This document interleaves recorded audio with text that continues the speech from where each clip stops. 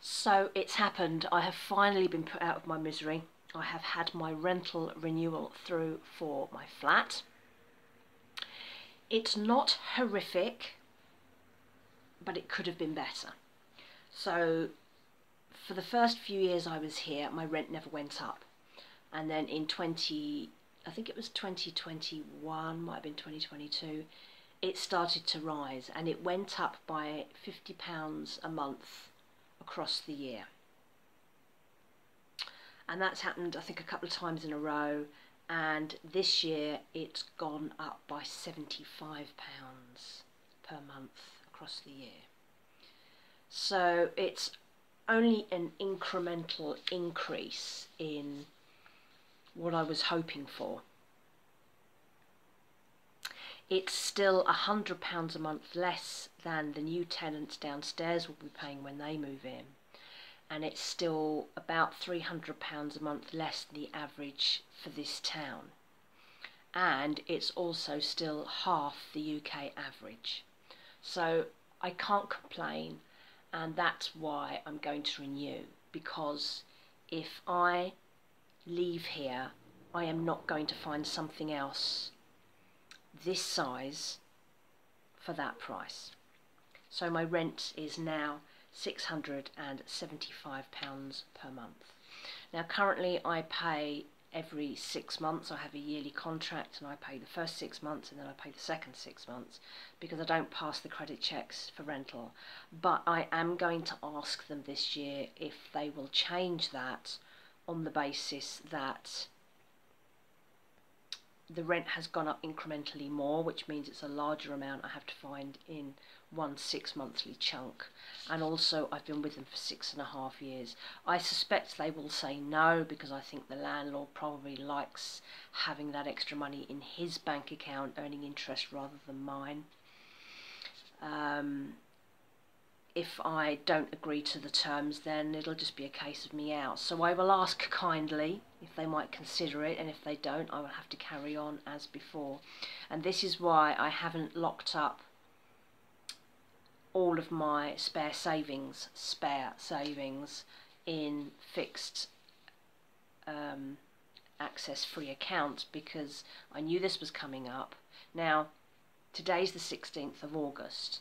My rent renewal isn't until the 20th of October, so they give, always give you plenty of time. You get two months, which is really good. Um, so I've got time to look at the numbers, look at my spreadsheets, etc., and see what's going on. So I've had a look at my outgoing spreadsheet for the year, and just to get a feel for how much prices have changed, because a lot of my numbers this year are red, which means that they're more than they were last year. Now, I haven't radically changed my lifestyle. I'm still living a very frugal existence. I still buy all my food either free or in yellow stickers. I only drive when I have to. Um, I don't have any subscriptions. I don't have a mobile phone contract. All these things. So I haven't changed my lifestyle and yet across the board, my expenses have increased by £630.83. And I will tell you why that is now. So, uh, my rent has gone up this year, will go up this year the equivalent of one month's rent, which is 675. My gas and electric is going up £48.84, even though you know, I try to use as little as possible. I hardly use any gas and electric. My direct debit is £40 a month now. Um, but across the year, £48.84 that's gone up by on actual usage. Uh, my council tax went up £52.17 this year. My water went up £22.71 for me not using any more water.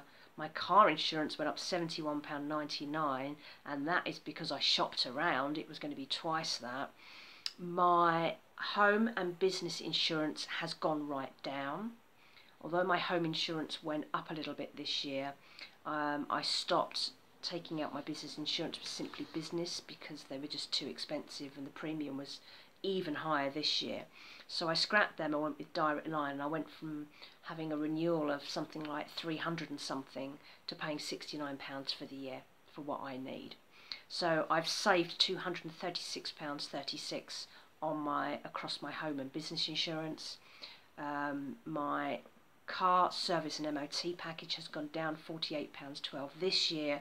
That's because it was the three year renewal and that doesn't start till March. So I think it was January, February, March were free, and then it starts again in April. So that will go up next year because I've only paid for, I think it's uh, either nine or ten months this year.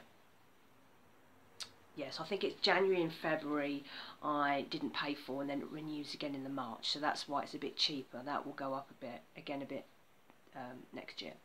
Um, my car breakdown cover went down a massive £2.42 Everything else I'm waiting on, so how much petrol I use will be dependent on what happens at the end of the year.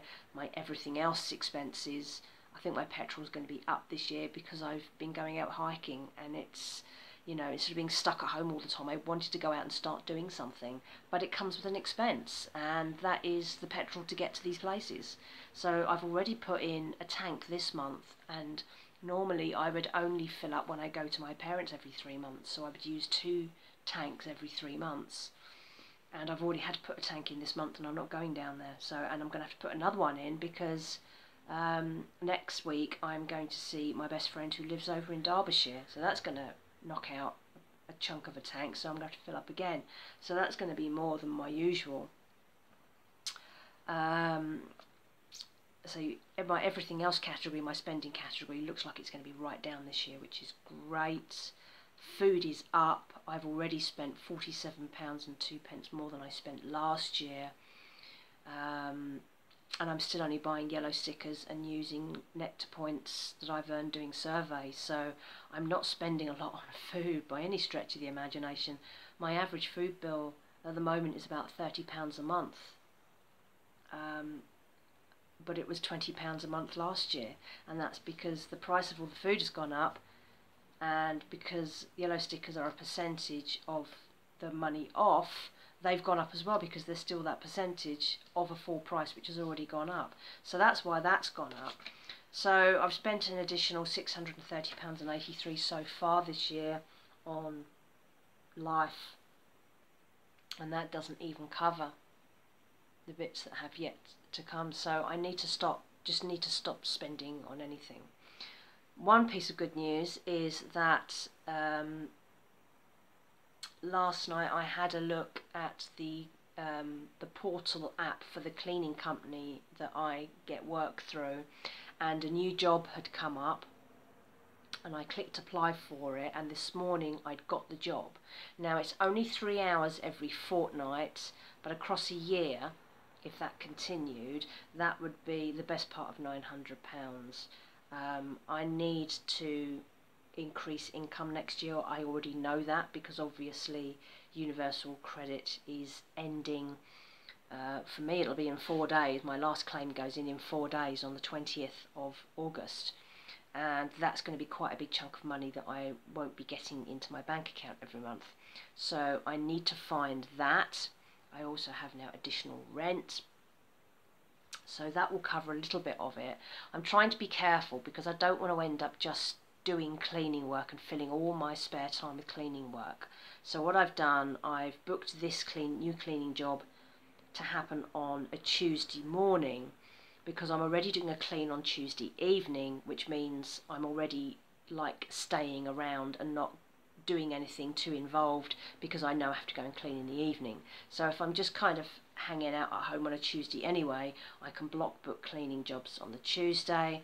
I have a three hour job on the Wednesday, and then I have the the two jobs which I split over the weekend of two hours each. But I could squeeze those both into just a Saturday or just a Sunday if I wanted to claim back an extra day. That means that I still have Monday free for me and for other work because I do a ton of other side hustles and little jobs. That means I still have Thursday and Friday for me. So that's three days a week that are still for me to do all my other work, um, business, and time for me, like hikes and things, because I don't go out and do that stuff at the weekend because everyone else is out and doing it. So I try to do those things um, during the week when everyone else is at work and the kids are at school because it just makes life a bit easier. So that's an up, one extra job. We'll see how that pans out. It may last, it may not. We'll just have to see. Um,